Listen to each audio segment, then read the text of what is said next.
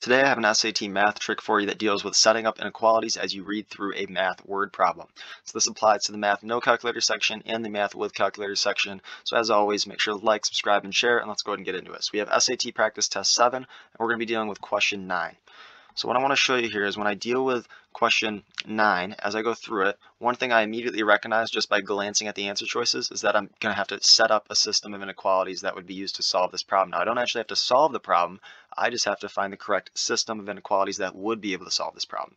So now the other thing that really jumps out to me here is that I've got four equations here. Okay, now since I have four equations, I know I probably am not going to need all four of them because there's only four multiple choice things and they're going to flip signs and things like that. So I know I'll probably be able to solve this after finding two or three of the correct ones. I'll know that I have the right answer just by process of elimination since the other ones will have to be wrong. So as I go through here, uh, my first time through, I'm just going to go through it and I'm going to teach you. And then the second time through, I'm going to show you why this saves so much time by going through how I would if I were taking the SAT. All right, so as I go through this, just pay attention. I'll go slow the first time, and then the second time I'll show you how you can do this really quickly. So we have Marissa needs to hire at least 10 staff members for an upcoming project. Thing that jumps out to me right away is it says at least 10. So if I go down here and I look at my things with 10, I know I need to have at least 10. I see an A that has less than 10, so that immediately to me is suggesting that A is wrong.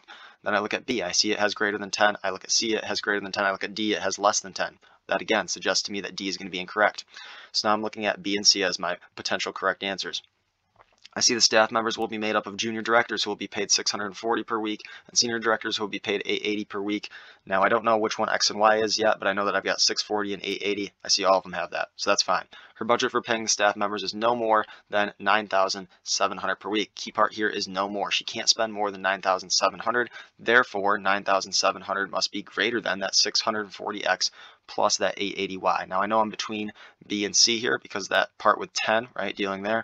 I know that those both are correct here, so I can check mark those two. Next thing I'm looking at is it said no more than 9,700. I see in C, it shows it does have more. So I know C is wrong. I know B will be my correct answer just based on that. And I'll go ahead and show you how I know that that's correct as I go through and it tells us what X and Y mean right? We can go ahead and check our work.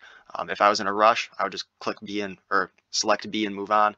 Um, but if we did have, if, if, we had plenty of time, wanted to check our work, we could go ahead and keep reading, and I'll show you why that's correct. She must hire at least three junior directors, at least one senior director, which of the following system of inequalities represents conditions described. If X is the number of juniors, Y is the number of seniors. Obviously, it's got to add up to at least 10, right? X and Y do. So we know that a and D are automatically out. So then we're between B and C, and then obviously we know based on this top equation that B has to be correct.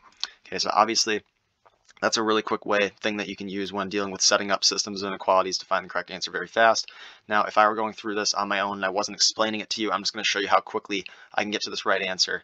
Um, if I was in a rush or if I just needed to move quick um, or was trying to move quicker than I normally do, right? Or for me, this would just be my natural pace because I can move through these problems pretty quickly. I just want to show you how quick we can get to that correct answer of B. All right, so this is going to be a non-slowed down version that I'm going to go through right now.